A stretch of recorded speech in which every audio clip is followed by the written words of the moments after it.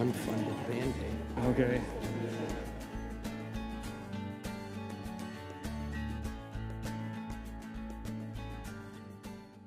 Good afternoon. Uh, I'm Senator Farley, co-chair with my uh, co-chairman, uh, Senator Magnarelli of the great city of... But thanks Did I say senator? I'm sorry. He comes from He the big house.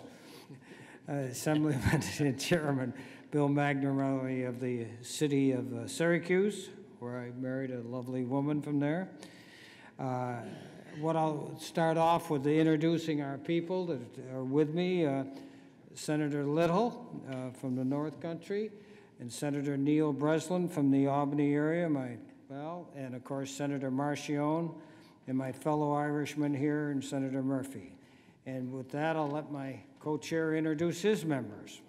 Yes, thank you very much. I'm Bill Magnarelli, Chair of the Assembly Standing Committee on Local Governments, and joining me today are Assembly members Sandy Galef, Chair of the Assembly Standing Committee on Real Property Taxation, uh, Jeff Dinowitz, Chair of the Assembly Standing Committee on Consumer Affairs and Protection, um, Janet Duprey, Ranking Member of the Assembly, is she here? She's not here, I apologize. Uh, Ken Zebrowski, Chair of the Assembly Commission on Administrative Regulations Review, Al Stirpe, Chair of the Assembly Subcommittee on Export Trade, and Michael Fitzpatrick, Ranking Member of the Assembly Standing Committee on Housing. So I think we have reached uh, at least a three-way agreement on one more item, and that is binding arbitration extenders. Uh, We've agreed to do that. That's right, So that's an one Article more to add 7. to the list.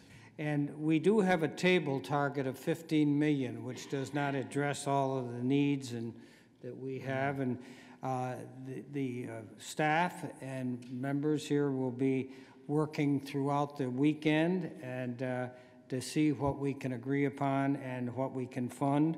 And we'll do the very best we can on that one. And, uh, but um, uh, it- it- with that, uh, I know that everybody's got some interest in some of the things, and, uh, but by and large, uh, some of the major, major issues are going to be passed on to the mothership uh, because uh, we don't have the money for them. But uh, by and large, I think that this committee is going to be able to finish it up over the weekend, and uh, we're all hopeful for an on-time budget.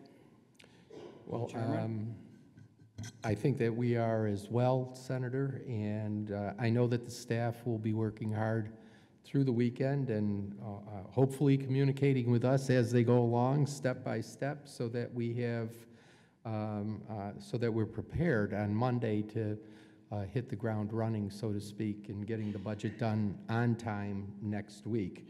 Um, Having said that, and I agree with you, I think we've got a good shot of doing that.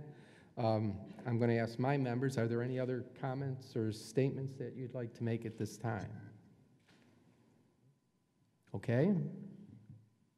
Likewise, you can see this is a very efficient group, and uh, I appreciate uh, the efforts. Uh, You know, uh, it's unfortunate we have to uh, work over the weekend, the staff does, but uh, that's part of the charm of getting it done. And as far as I'm concerned, an on-time budget is paramount in- in, in our position. And a good budget. In, in a good budget, and I think it will be.